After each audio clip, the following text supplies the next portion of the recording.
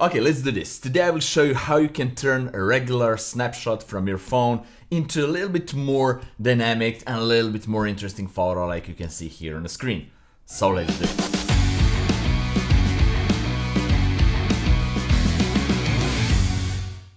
Hey guys, it's Nemanja and welcome to another really fun Photoshop tutorial. The photo that you saw in the intro is just a regular snapshot from my iPhone. I was on the mountain, uh, making some commercial there, and uh, we are riding those uh, snowmobile and just stopped for a moment, took a uh, took a shot, took a photo, and that's it. But later we talked about it would be really cool if I can change that photo into more dynamic photo like the snowmobile is actually moving and uh, there is like a motion blur effect, some snow is falling, etc. So let me show you how you can really easily make something like that.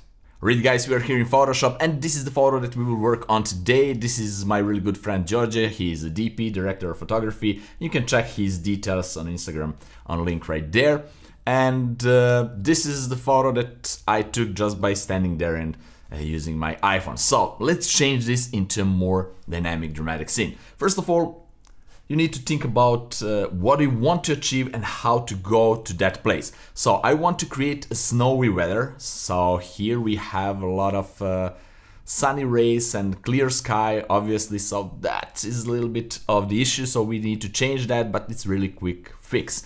And before that, what I did here, just to save the time for this tutorial, I already extract the the model and the snowmobile out of the background as you can see right here I made a mask so it's on a separate layer right here because I can much easier manipulate with uh, everything uh, behind him and the background overall etc so you always need to do something like that to extract the main model and to have it on a separate layer.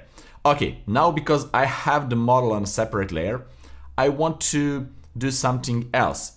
If I go right here on this file and if I put a motion blur here, let me show you that really quick. I will go to filter, blur, radial blur. And here I will go with these settings. I need to change the move the center point a little bit to the left right there. And if I press OK, it's really cool. We already have that motion blur effect. The snowmobile is like moving really fast, etc. But we have one problem. We have this halo effect around snowmobile around the model, etc. So I don't want that. I want to avoid that. And how to do that? Let's undo it. We need to fix the background. So I will control click on the mask to load the snowmobile and the model here. Then go to fill, uh, select, modify, expand. And I want to expand it for around 20 or so pixels just to make it a little bit wider, as you can see right there. Okay, and then I can go right here, go to edit, content aware fill or I can go to just uh, regular content aware with shift and backspace I can do that. But here here is what we will get. I can go right there and uh, unzoom this a little bit move it. And I can say alright I don't want this to be affected by these parts here but everything else is pretty cool. And I can say apply alright and press OK, and now the Photoshop will put this on a separate layer, as you can see right there. And let's see, let's see what we got here. Mm, we got these things that I actually don't like, but it's really easy fix. So I will go to this layer, use the clone stamp tool, and just go with clone stamp tool, make it a little bit bigger, and clone for this, and just see, it's really easy fix. and I will now fast forward because I'll just go all around and just clone these parts there.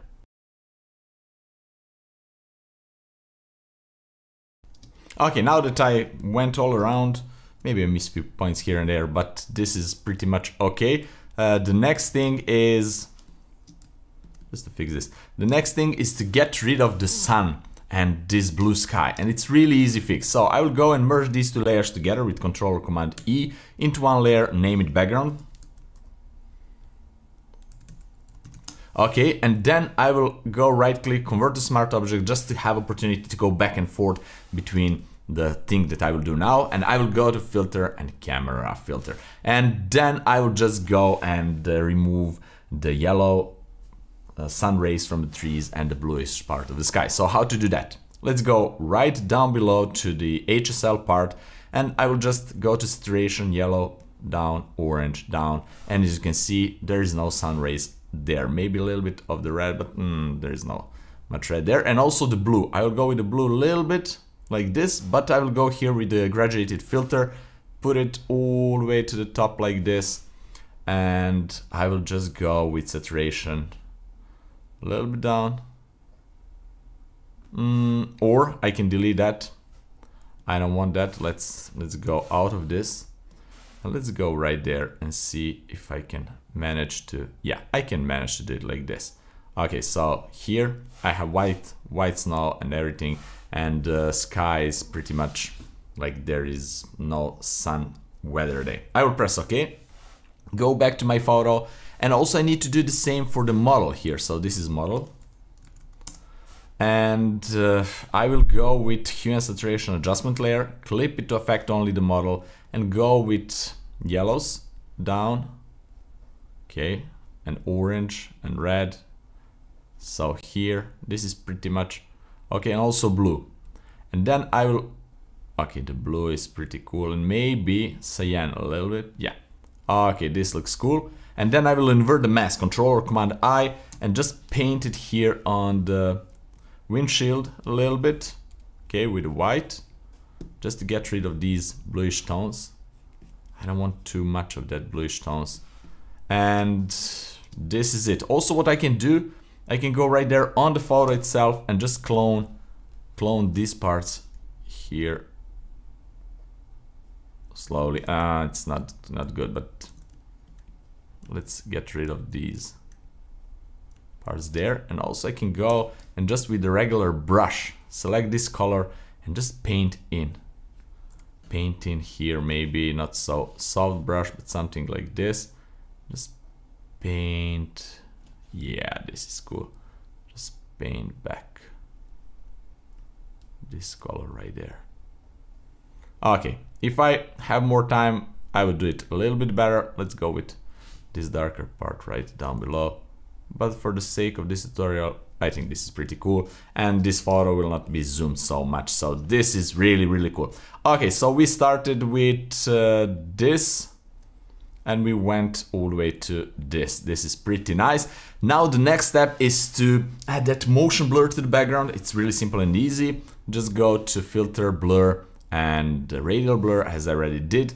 And with by moving this uh, center point, blur center, as you can see right here, you can uh, make it as you want it. So it's matter of trial and error, see what works the best. Maybe I can go again, double click and move it a little bit down. Let's see what this will bring to the photo. Okay, this seems pretty cool and maybe, just maybe, a little bit more here like this. Let's see.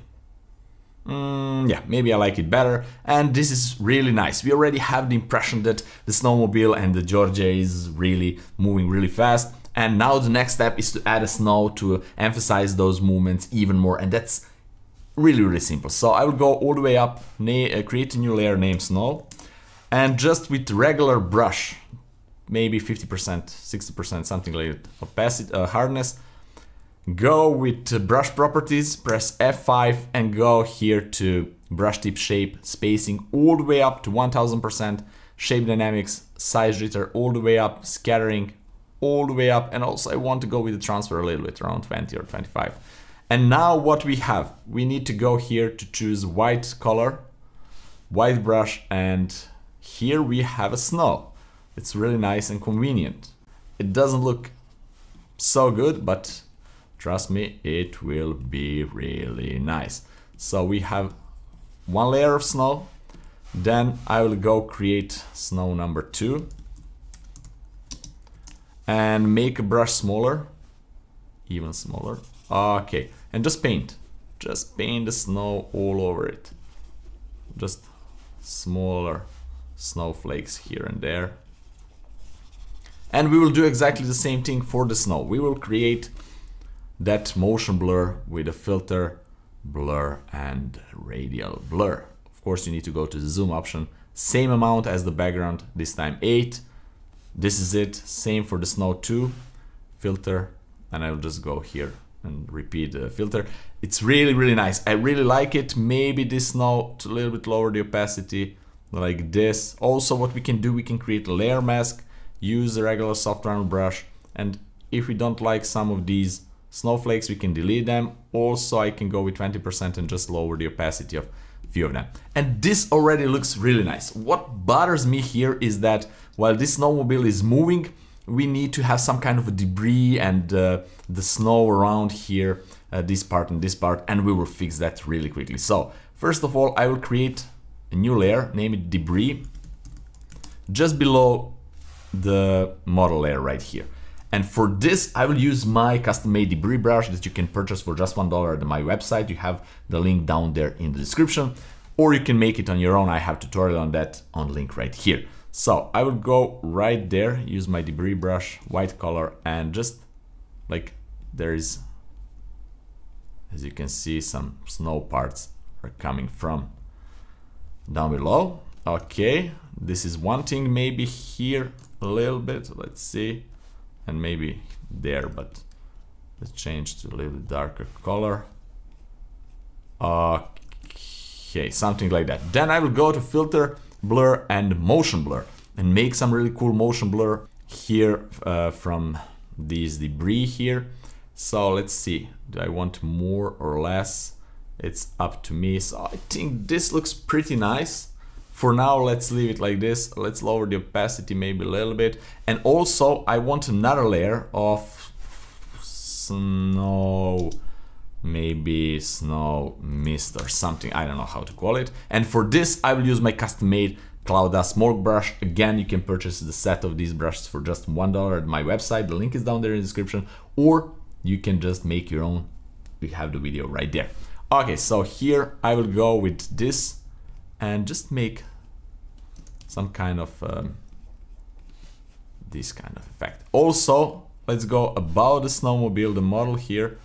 Snow on the snow bill, okay. And just, I want to go right there and just make some, like, some snow is happening here.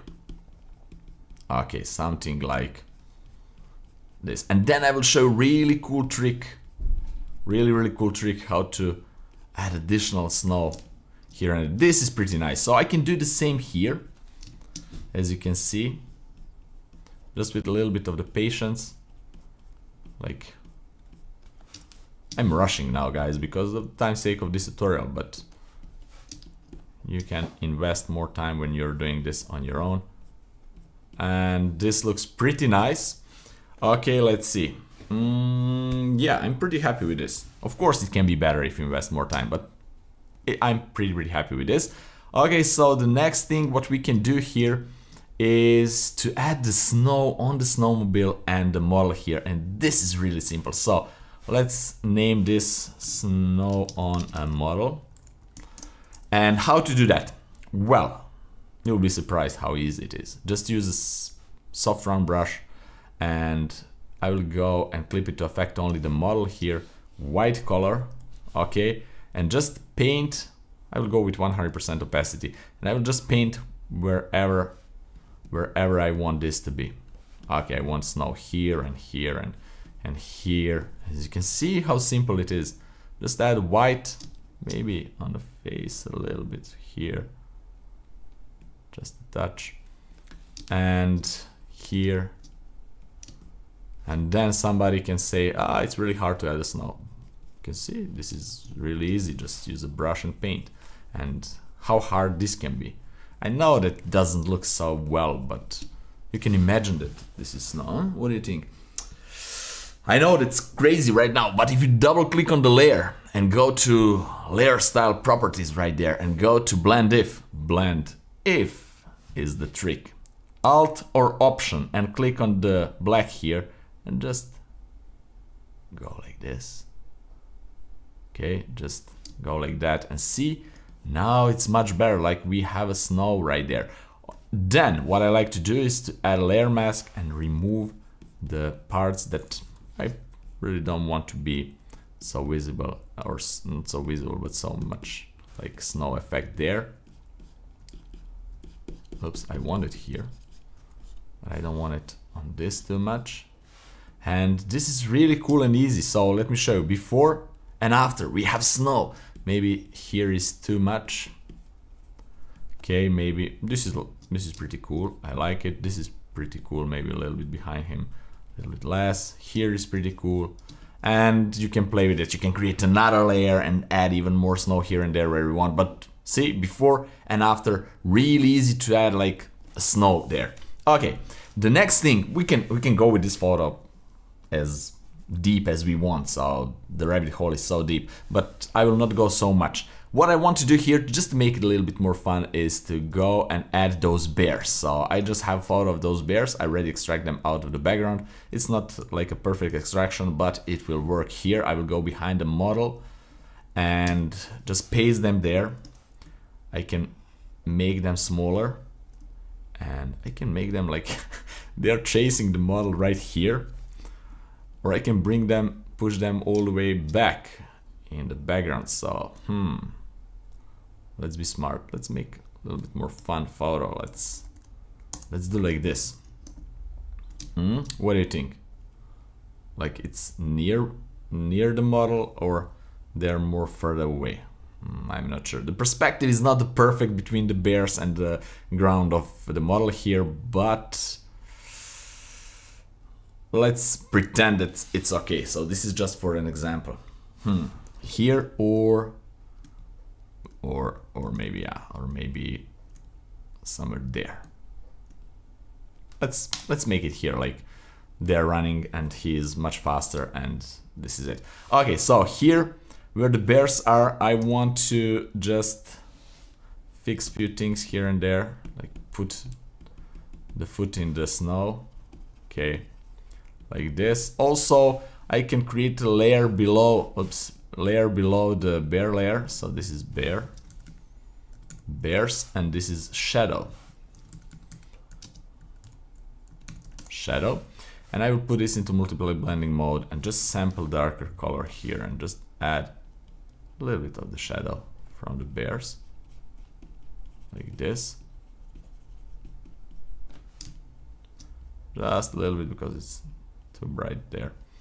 Okay, and we have the shadow from snowmobile here too so this is really nice also what i want to add on the bears because they're slower than snowmobile they need to have some kind let's go to smart object they need to have some kind of a blur so i will go again to filter blur and uh, radial blur again let's see with the same settings mm, too much let's go with maybe five i don't know let's see Five, uh, it's pretty much okay. Like they're there in the background. Maybe four, maybe four. Let's see. Okay, let's go with a four. And I'm pretty happy with with the current results. So let me remind you one more time. We went from this. Actually, actually, actually, let's make a copy of this. We went from this all the way to this. It's completely different scene and it's really really simple and easy to go with that so let's just see I have so much snow here hmm, I don't want it so it's really really simple and easy. What we can do with the bears we can make them maybe a little bit darker but mm, they are pretty good. So one more time. This is before. This is after. I pretty much like it. Also we can uh, add some glow to these lights right there. So I will create a new layer, put it in linear dodge blending mode and use this type of a color but darker like there. And just just add this kind of a glow and that can be it. Of course we can play with a few more things here and there but I will stop for this tutorial because it's this is supposed to be not so long tutorial. It's really fun and easy to create from just a regular phone snapshot from this photo all the way like an action scene. Also what we can do, just one more, one more thing. This is glow. I can add a little bit more snow here at the front, just like, just like this. Let's see. This, uh, I want something like this, maybe here, maybe here, maybe here. Just a little bit more like snowflakes closer to the camera. And then again go with radial blur filter, but but more. Like 10. Let's see. Yes, and I will lower the opacity a lot just to have a little bit of that. Just few like almost subconscious things here and there, just a few snowflakes. And this is it. Now we can merge everything together with Shift Control Alt T or Shift Command Option E on a Mac. Go to Filter, Camera Filter, where it is. It's here. And we can add some color grading, a little bit of color grading here. So we can maybe go with a little bit more, let's see, bluish tone, temperature, maybe a little bit of the contrast, a little bit to open the shadows. What I like to lower the clarity a little bit, but boost the, uh, the texture. And also I can go and add a little bit of vignette here. So let's see, before and after, yeah, pretty much okay. I'm really happy with the result. With just few tweaks here and there, you can get completely different photo. If you don't like the bears, you can get rid of the bears. You can put some other animals or whatever you want here. So just one more time, before, really cool sunny day, no snow uh, falling down, no action scene, etc. But with just few tweaks, we can get really cool action scene photo. Also, we can crop it to 16 by 9 because I love that aspect ratio. And we have something really cool in a matter of few minutes, few 10 minutes or 20 minutes. I don't know how long this tutorial it is, is right now. Okay, so this is basically it guys. I really hope that you like uh, this tutorial and that you find these tips useful so you can apply it to your own images. Remember I took this photo with just my phone and you always have your phone with you so you can later tweak uh, the photos on like I did here in Photoshop. Also one pro tip is that when you're taking these type of photos, like I took this photo right here, uh, I have in mind what I want to do later because the model posed like he is riding the snowmobile fast and then that I had in mind that we will add the snow. I didn't have in mind that I will add the bears, but we will we had in mind different scene there, so that helps a lot later in post-production. Right, if you have any kind of questions regarding to this episode, please leave me down there in the comment section below. I will be glad to answer it. Have fun, experiment with your own images, and see you in my next fun episode. Bye bye.